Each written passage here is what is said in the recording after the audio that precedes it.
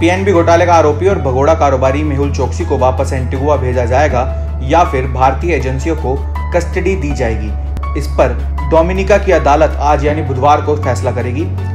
पिछले हफ़्ते मेहुल चौकसी एंटीगुआ से क्यूबा भागते वक्त डोमिनिका में पकड़ा गया।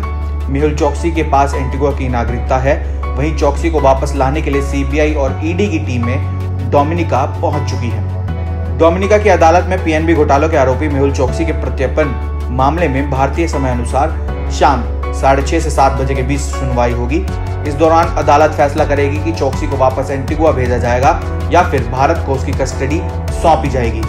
पूर्व सीबीआई निर्देशक एसपी सिंह ने बताया कि इंटरपोल रेड कॉर्नर के अनुसार डोमिनिका से मिल चौकसी को किसी भी समय प्रत्यर्पण किया जा सकता है, क्योंकि उसके पास वहाँ कोई कानूनी अधिकार नहीं। लेकिन अगर डोमिनिका की अदालत ने पाया कि चौकसी का अपहरण हुआ है तो वह वापस एंटीगुआ भेजा जाएगा, जहाँ वो फ़िलहाल नागरिक है।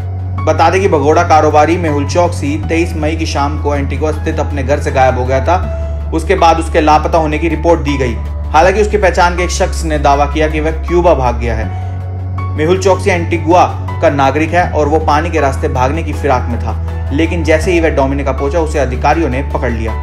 एंटीगुआ के प्रधानमंत्री गेस्टन ब्राउने ने रविवार को डोमिनिका की कोर्ट से चौकसी को सीधे भारत भेजने का आग्रह किया था। उन्होंने ये भी आशंका जताई थी कि डोमिनिका में मेहुल गर्लफ्रेंड के चक्कर में पकड़ा गया है। वहीं पीएनबी घोटाले का आरोपी चौकसी के वकीलों ने डोमिनिका की कोर्ट में बंदी प्रतिपक्षन याचिका डाली है।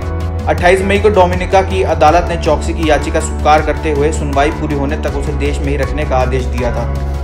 अब देखना ही होगा कि आज शाम को क्या फैसला आता है और क्या भगोड़ा मेहुल चौकसी भारत वापस आ पाएगा।